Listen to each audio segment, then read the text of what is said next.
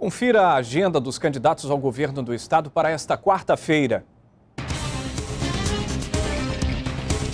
Abel Alves, do PSOL, visita nesta quarta o município de Tefé. Chico Preto, do PMN, tem atividades apenas à tarde, quando expõe plano de governo no Sebrae e depois faz caminhada no Santa Luzia.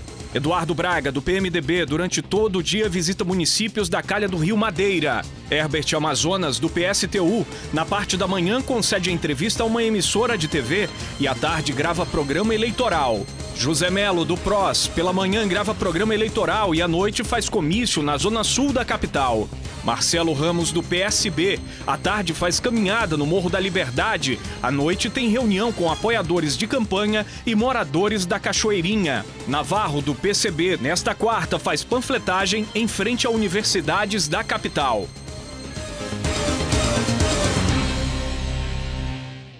Com mais de três meses de salários atrasados, hoje trabalhadores de uma empresa terceirizada da Petrobras cruzaram os braços. Com isso, postos de Manaus e do interior tiveram um abastecimento de combustível prejudicado.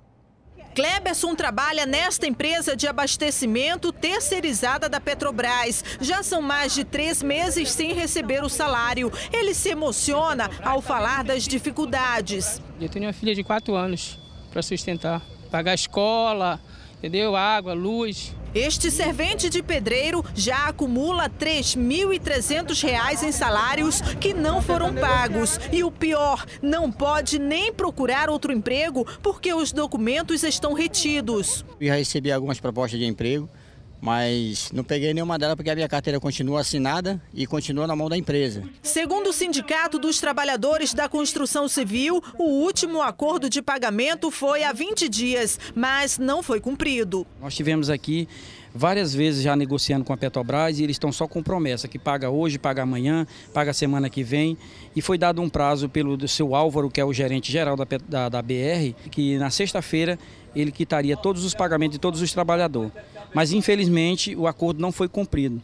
A paralisação começou no início da manhã de hoje. Como a pista foi interditada, cerca de 50 caminhões não puderam entrar e nem sair dos terminais de abastecimento. Com isso, vários setores ficaram prejudicados e mais de 500 trabalhadores tiveram as atividades paradas.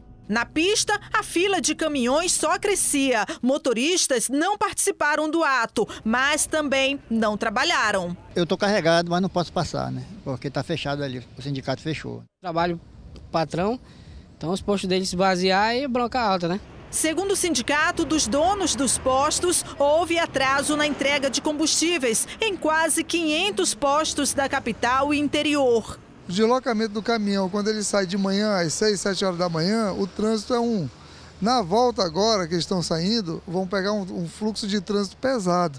E com isso, as viagens, que era para ocorrer duas, três viagens no dia, vão ocorrer uma viagem só. O abastecimento, que era para começar às 5 da manhã nos terminais de Manaus, só iniciou após a manifestação. Seis horas depois, a pista foi liberada às 11 da manhã. Em nota, a Petrobras informou que a empresa foi contratada depois do processo licitatório e abandonou os serviços antes do prazo. A Petrobras também busca um acordo com a empresa para resolver as pendências e disse também que o abastecimento de combustíveis não corre risco aqui na capital. Veja instantes, 12 casais oficializaram união em casamento coletivo homoafetivo realizado aqui em Manaus.